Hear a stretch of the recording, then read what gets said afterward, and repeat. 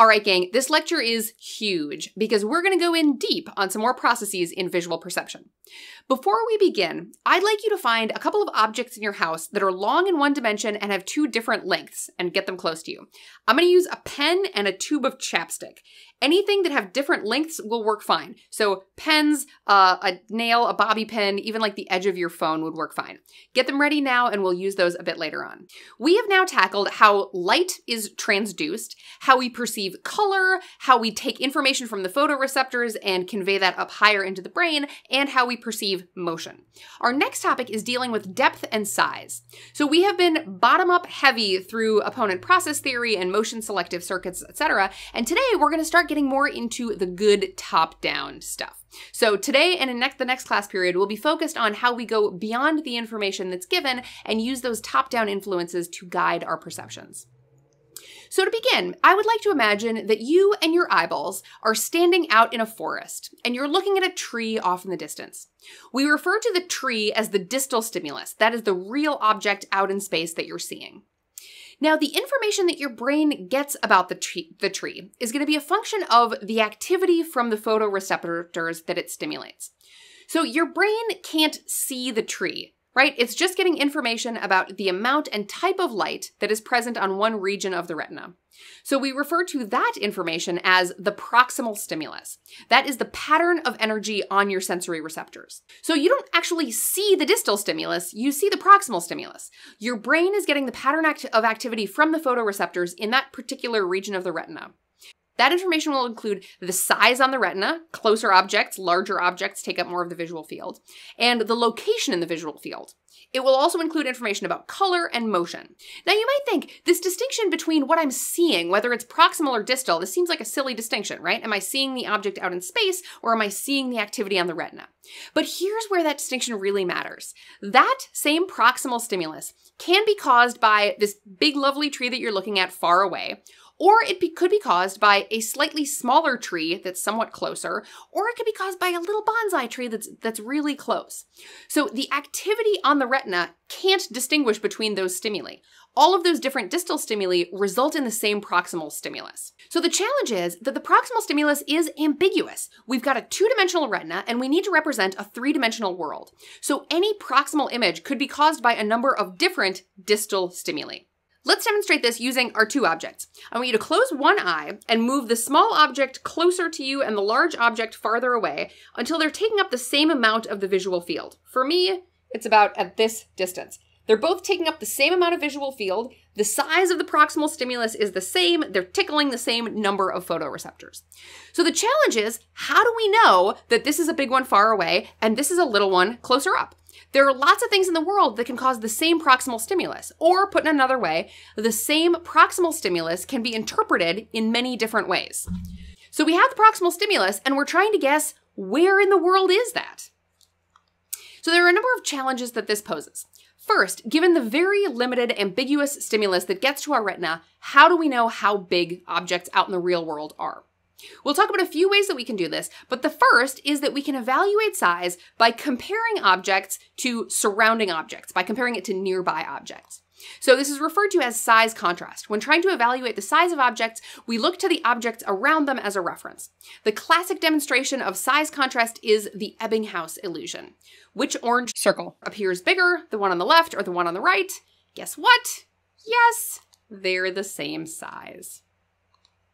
How about this? Wow, Shaq is really big. Wait, no, Shaq is small? So things look smaller when they're next to big things and bigger when they're next to small things. Here's another one. This is called the Jastrow illusion. Which of these is bigger? What's that I hear? You're saying this one? Cool, all right.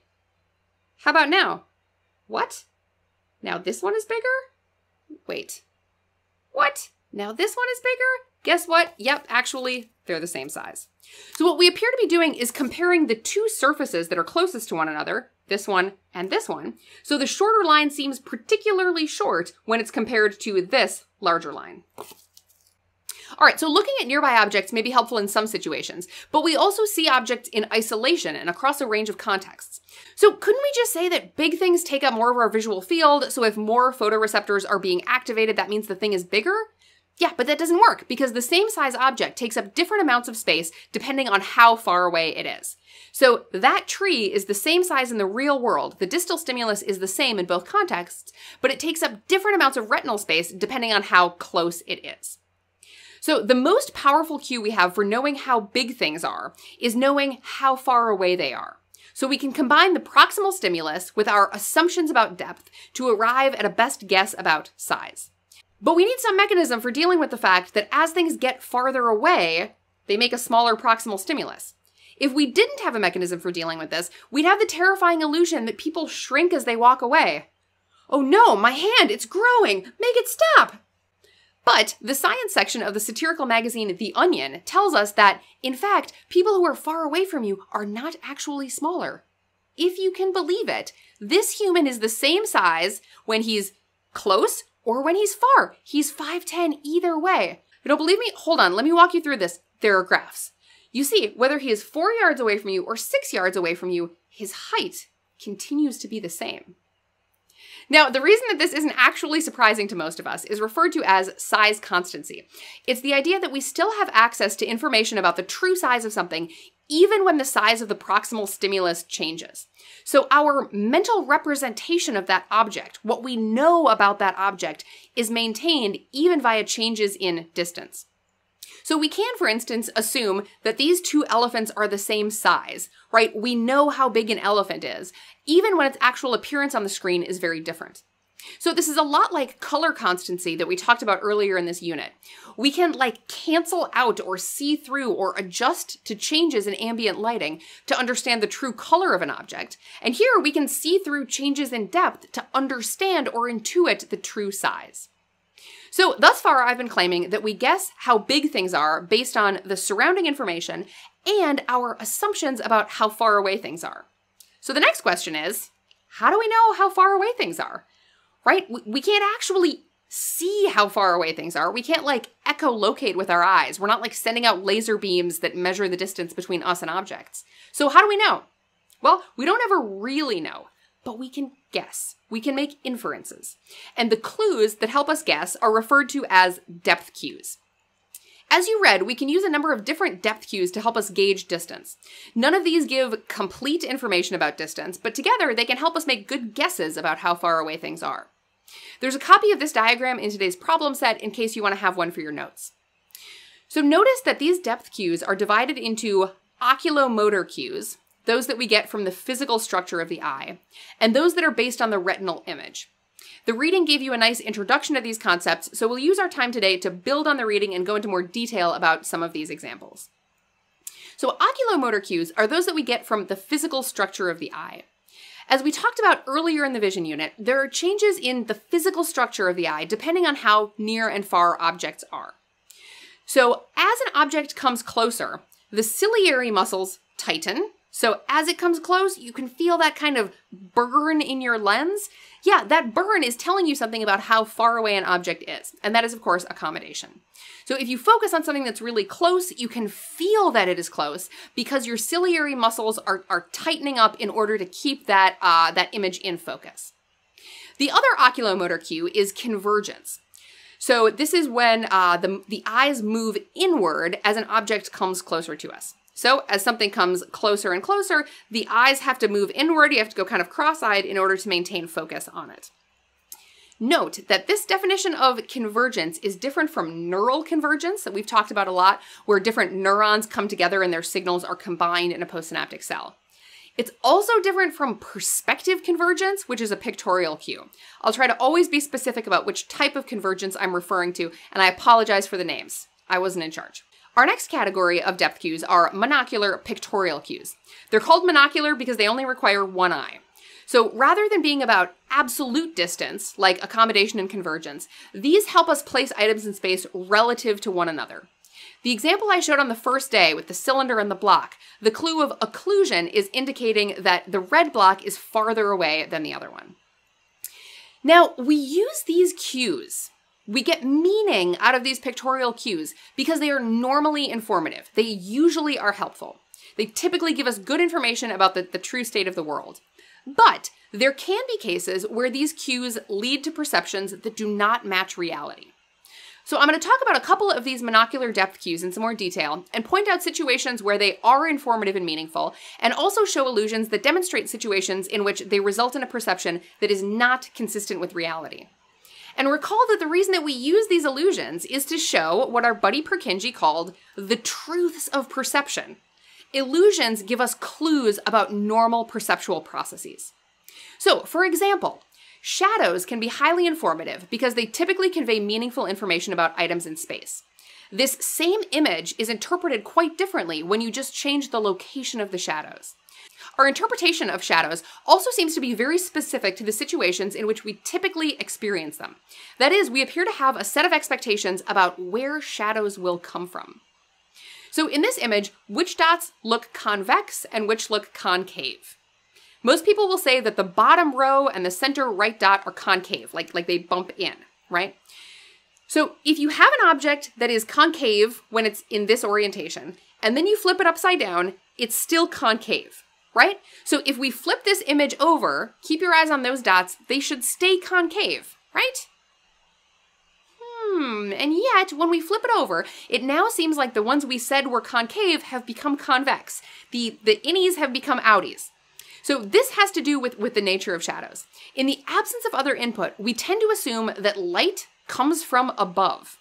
So when light is coming from above on a convex image, the darker part is at the bottom. Now, why do we assume that shadows come from above? Well, it's a safe bet that over the course of our lives, light sources, the sun, light fixtures, yep, there they are, tend to come from above. So in the absence of other cues, we assume that shadows happen at the bottom of things. Even though light sources can come from anywhere. Mwahahaha. Our assumptions about shadows can be so strong that they even lead us to perceive things that we know are impossible.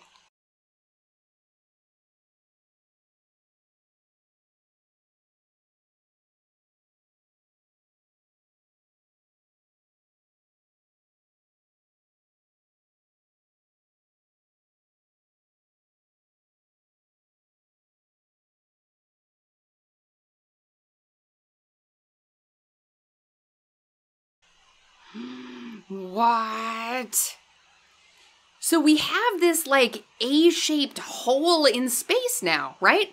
It's not actually, it's just a drawing. But the presence of shadows can convey really powerful cues about where things are in space. Don't believe me? Just ask this lady on a flying carpet. Or this hoverboat. All right, we can also use information about the known size of objects to determine how far away they are. So when people are asked to estimate how far away these two coins are, they'll typically judge the quarter to be farther away in space than the dime because they know that quarters are bigger. It's a cool toy car, right? Here's the artist who made that coin. That's a real car. So why didn't we assume that that's a regular car with a huge coin on it? Well, in your life, you have seen toy cars and real cars, and you've seen little coins. Huge coins are really, really unusual. So when we see this image, it could be interpreted in multiple different ways toy car, regular coin, regular car, huge coin. But we're choosing the one that seems most likely to be true based on our prior experience. It's a clear top down effect. The third cue I want to spend some time on today is texture gradient. So, pictorial cues are used heavily by painters and other 2D artists who are trying to convey depth. So in this picture, the spacing of the cobblestones gets more densely packed as they get farther away, which contributes to our perception of depth in the image. Texture gradient can also be used for evil, as in this store's carpet. So the ground is flat, but the fact that it doesn't look flat tells us something about how we're using cues about texture to judge depth and distance. One of the most widely used depth cues in art is perspective convergence the idea that parallel lines appear to converge as they get farther away. So in the classic Ponzo illusion, the far yellow line appears to be bigger, even though the two yellow lines are the same size. In my favorite Monsters in the Hallway illusion, the monster that's in the back appears to be much bigger, but they're actually the same size. Isn't this one wild? Look, they're actually, I swear, they're the same size. Okay, this is gonna come up later, so I wanna emphasize this. Things make smaller proximal stimuli as they get farther away. So we interpret the same sized proximal stimulus as being larger. It feels larger to us when it's farther away because of size constancy. One of the things that's really interesting about these depth cues is that they are, as we have said before, cognitively impenetrable, right? Even though you know the trick, you still can't help but see it. It really speaks to the, to the depth of these cues. When painters figured out perspective convergence, it became used as a powerful cue to indicate depth in art. In all of these, the converging lines in the distance are telling us things are getting farther away. So these little guys here, they're not just small floating dudes, they're in the background. How do we know? Perspective convergence. All right, so we've talked about some of the cues that we use to gauge distance. Now let's talk about what can happen when we're given misleading cues about depth. A classic example of false depth cues comes from an illusion called the Ames room.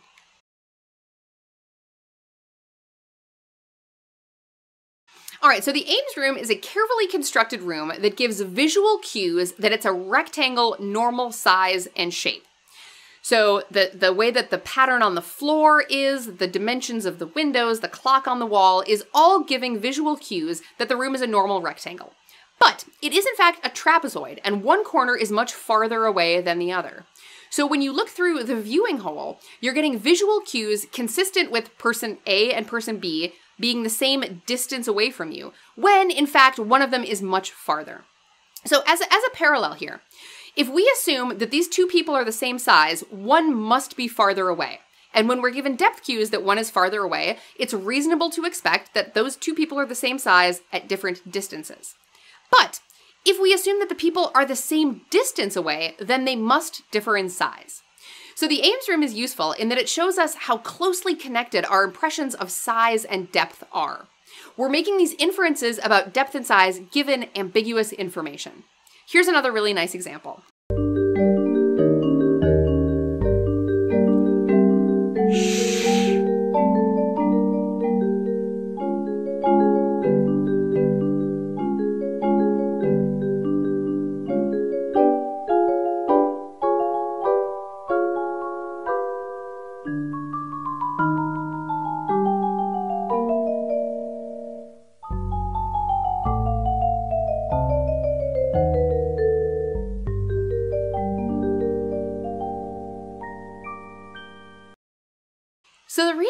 Brain kind of goes thunk when each of these things unfolds tells us that we had a set of expectations about what these objects are and how they fit together in the room based on pictorial cues and our prior experiences with these kinds of objects.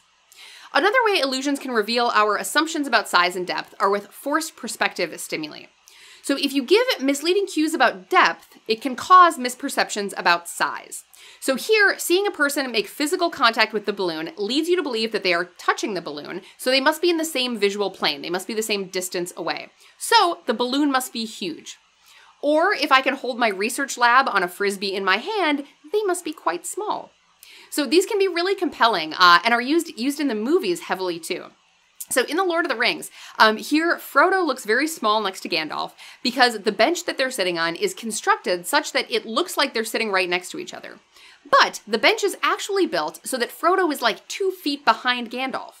So the reason he's making a smaller proximal stimulus is that he's far away, not that he's hobbit sized.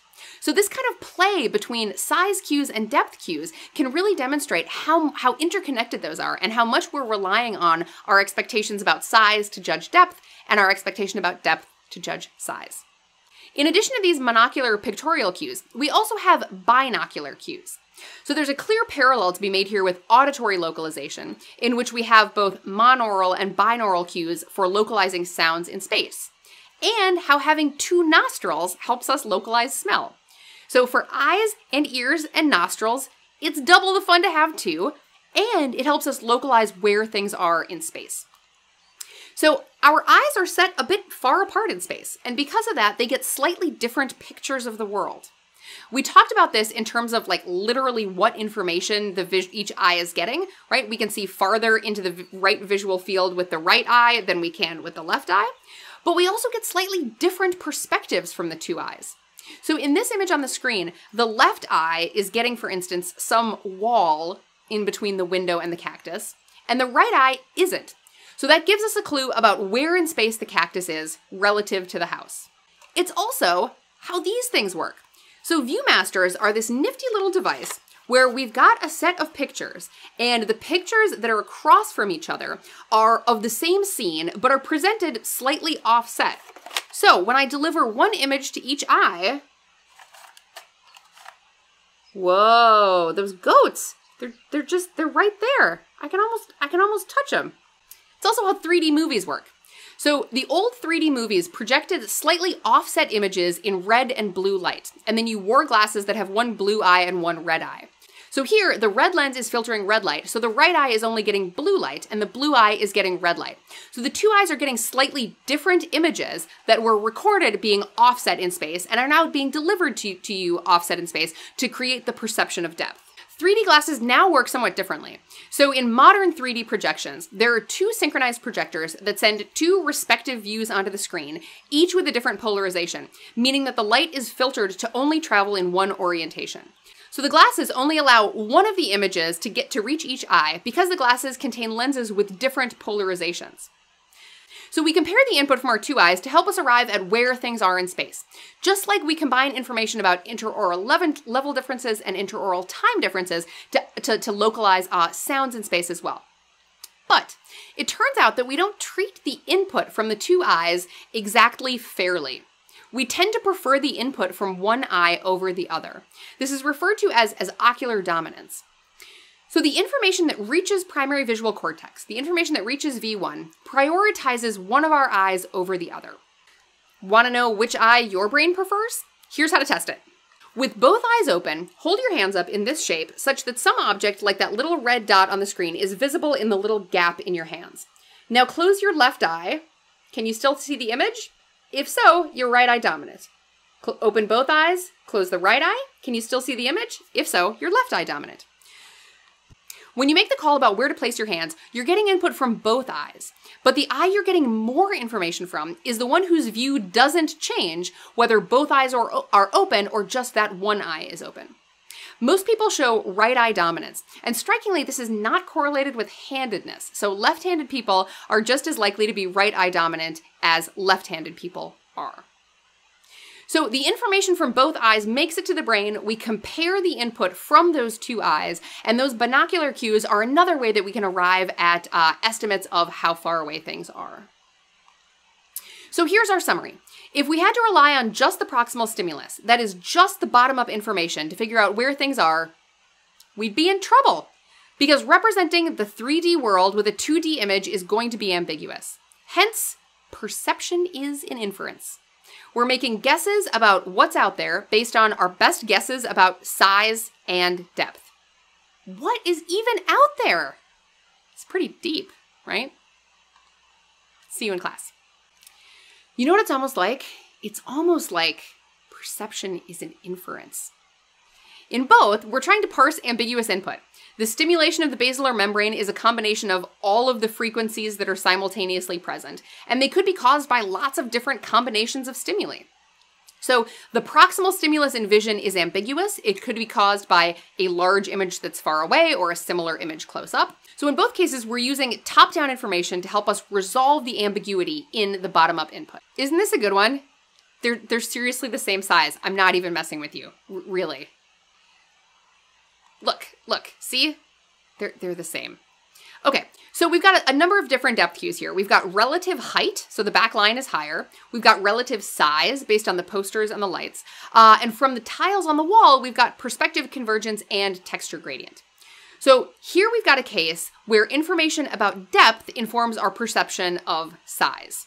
And the Peanuts cartoon is kind of the opposite. So we've got cues about size that are informing our perception of depth. We assume that if the characters were painted normally on the sidewalk, their heads would be smaller than their feet. But they're in proportion, so they must be upright. So this is a case where information about size informs our perception of how far away we think things are. Look at that big, pretty moon. Why does the moon look so big at the horizon? Believe it or not, this is not a simple question to answer. Uh, it doesn't have much of anything to do with the nature of the atmosphere or the angle that light reflect, refracts or anything like that. If you actually measure the moon in the sky, it's that big, it's that big. Uh, it, it isn't actually larger at the horizon than, than directly overhead. So there are two main theories about why the moon looks bigger at the horizon than it does overhead. The first is referred to as the apparent distance theory. The claim is that the horizon is perceived as being farther away than the sky overhead. So the reason the moon illusion is working on this image that you're seeing right here is that the horizon is farther away. We can tell because of perspective convergence. Now, we perceive things that are far away to be bigger than they actually are because we are perceptually correcting for the small size of the proximal stimulus. So, if the horizon is perceived as being farther away than the sky overhead, we would interpret the moon as being bigger when it's there. But why would we think the moon is closer when it's overhead than when it's at the horizon? What would lead to that misperception about distance? So here, I've got no context. How big is that thing? Where is that thing? It could be a million miles away. It could be 239,000 miles away. So, what's our context for knowing how far away the sky is? Could the answer be clouds? In an open area, we can see very far to the horizon, but cloud cover is much lower. So low clouds can be as low as a mile overhead, whereas we can see at least three miles to the horizon, and we can see things that are much farther away if they're tall. So the moon looks larger at the horizon because we think it's farther away. And because of size constancy, we're perceptually correcting for that small proximal stimulus. The other theory about the moon illusion, and both theories could be true, is that at the horizon, the moon is surrounded by fine details, which makes it look larger. When it's high in the sky, there's not that context. It's just surrounded by the empty vastness of space. So it may have to do in part with cues about size and depth, and in part about size contrast, as, as in the Ebbinghaus illusion. So the claim that I've been making is that we have learned over the course of our lives about all of these different cues about depth that enable us to make guesses about how far away things are. But at what age do we begin using these pictorial cues? How do we know that these aren't innate? How do we know that they're actually learned over the course of our experience? So, there's very cool developmental research that's looked at the age at which infants be become able to start using these depth cues. So, we know from previous work that infants are more likely to reach for items they think are within their reach. So, in these studies, infants were shown a black and white grid that makes use of depth cues that, that imply distance. Two identical toys, two little rubber duckies, were hung in front of the photograph at the same distance from the in infant, but at different heights. So if the infant is not using depth cues, they should be equally likely to grab for each toy. If they are using depth cues, they should reach for the toy that appears closer. And the researchers found that by five to seven months, the infants have begun making use of depth cues. So those sweet little baby brains are already taking note of the statistical regularities, these patterns in the world, and figuring out what cues indicate size and distance by five months old. Pretty cool. All right, that's it for today. I'll see you next time to talk about faces.